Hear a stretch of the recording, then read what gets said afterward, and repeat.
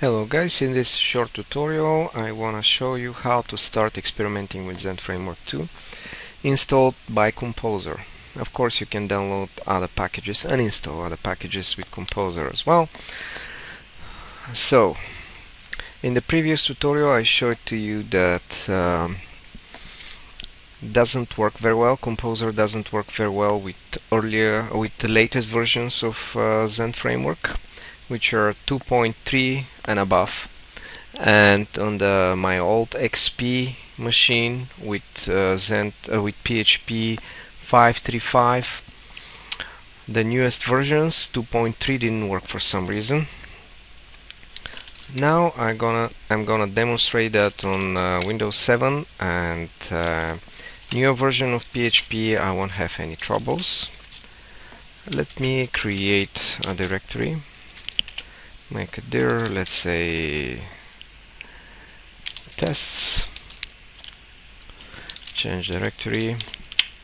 Test. There. Let's see what version of PHP do we have here installed. My assumption is uh, your PHP is already installed. So here we go. 5.510 uh, pretty new one.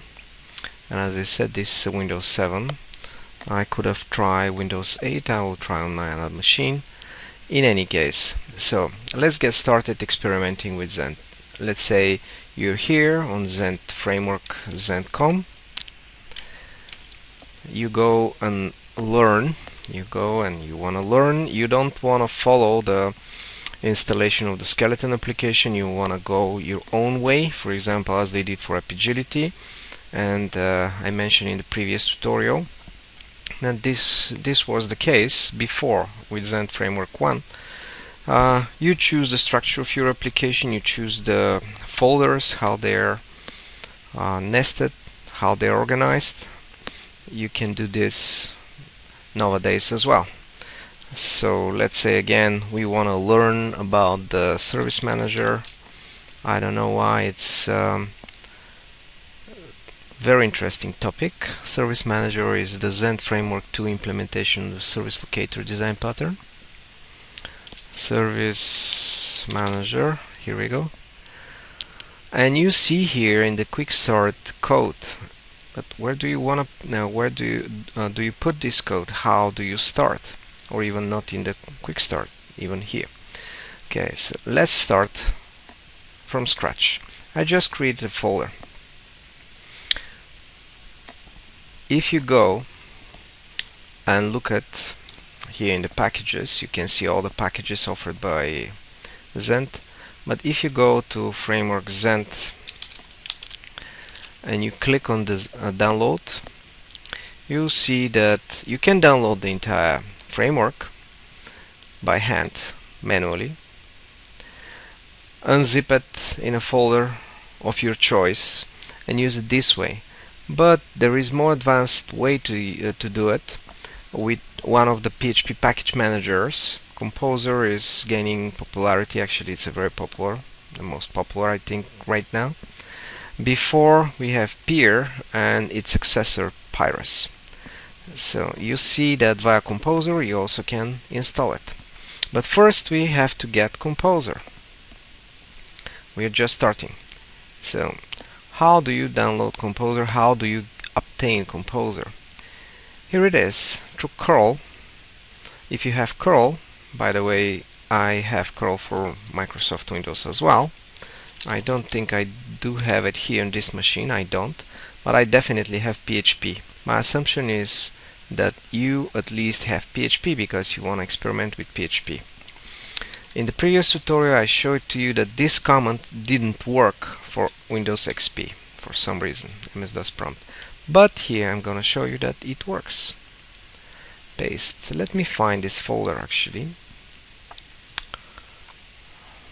I call it the new one, Zend Framework 2 Tests. As you can see it's empty. Now I'm gonna run this command and what this command does is downloads the installer is the installation script PHP script and this installation PHP script after that downloads the composer and puts it in the folder. Let's look at here. Here we go. We have composer. If you don't have globally installed Composer this is one way to do it. Another way of course is always to go to the installer Composer setup and download it. Uh, third way is to download it manually unzip it if it's zipped. I haven't tried that. And just put it in the folder. Whatever you decide there are many many many ways to do things in the um, information technologies. So PHP composer phar list. And I'm gonna see all available comments.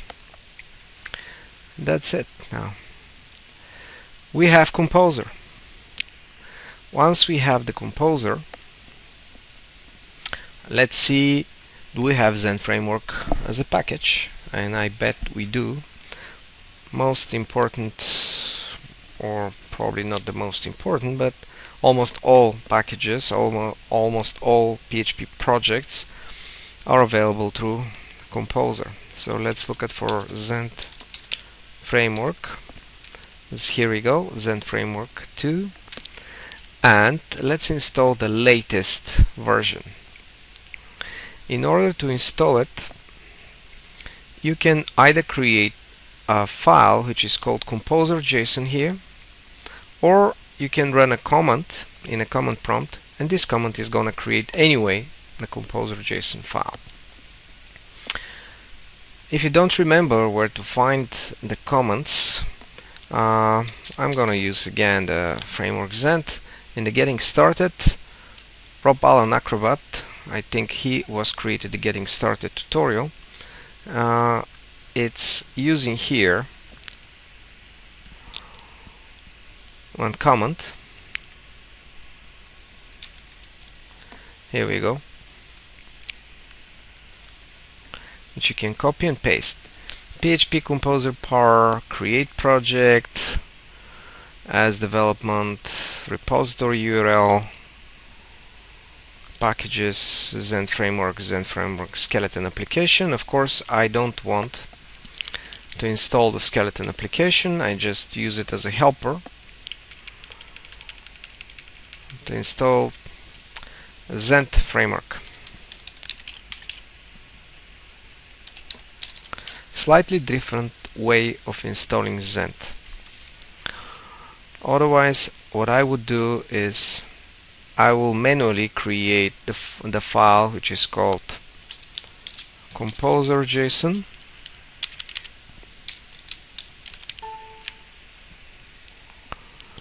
open this for example with notepad++ of course you can use uh, your preferable IDE NetBeans for example or um, Eclipse or PHP Storm and there are many many others. I'm not gonna go through all of them.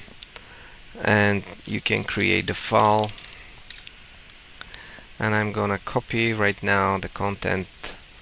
It's a simple line but I just don't wanna take a chance to make errors. Composer JSON here we go. Edit with notepad.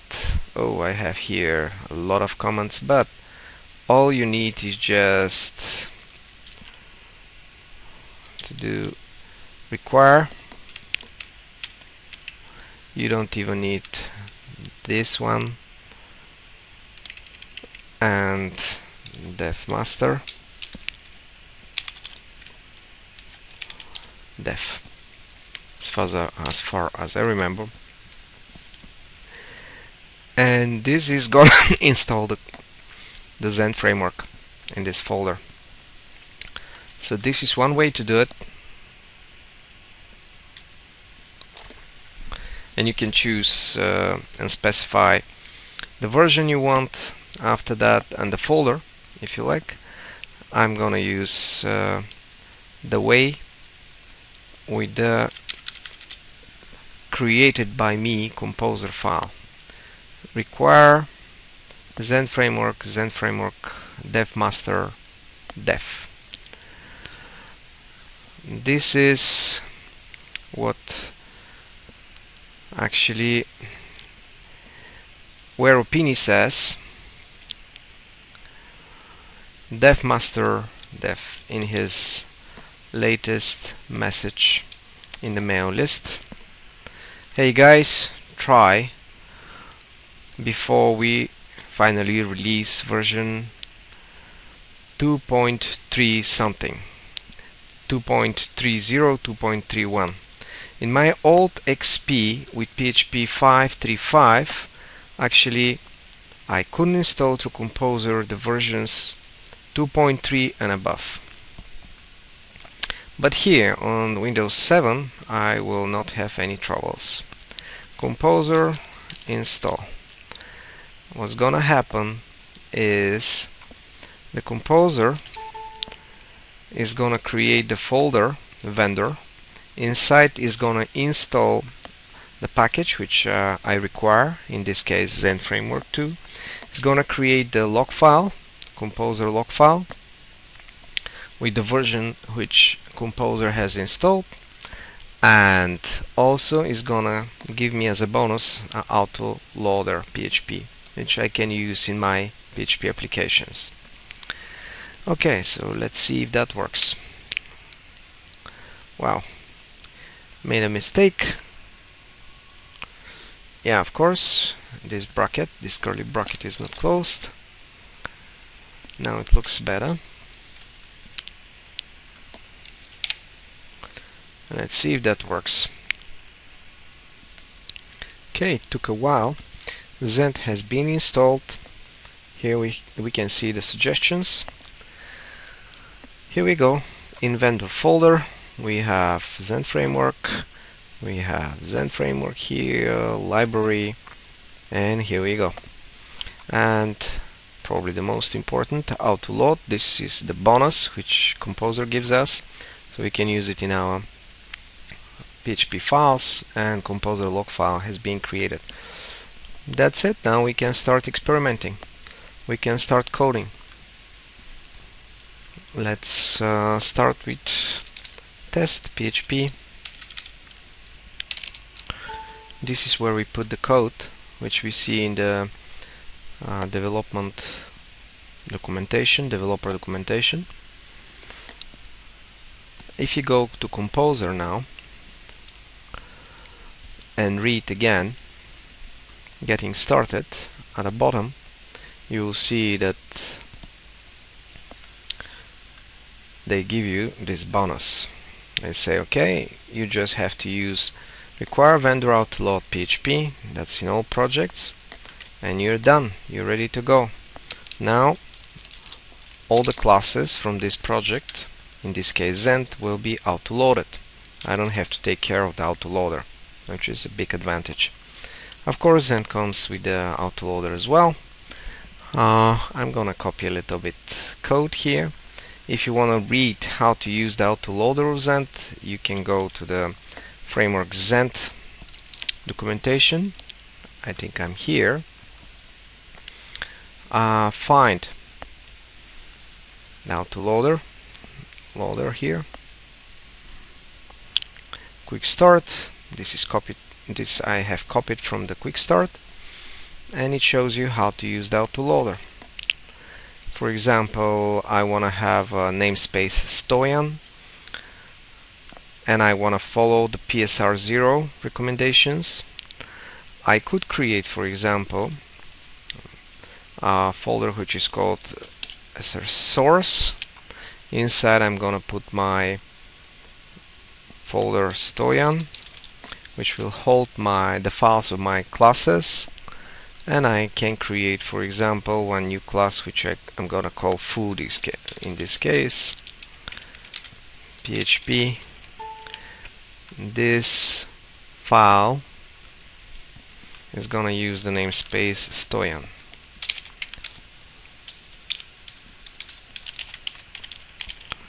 Stoyan oops bump space namespace Stoyan. And here I can say for example class foo whatever. Okay now I have a class and I would like this class to be auto-loaded as well. So this is how I define that. I say okay if you're looking for the namespace Stoyan here it is the directory where we can find it. And we have to use the factory and factory of the autoloader as it described in the documentation. In this tutorial actually I'm showing how to use the components separately how to experiment with them how to start uh, experimenting with them.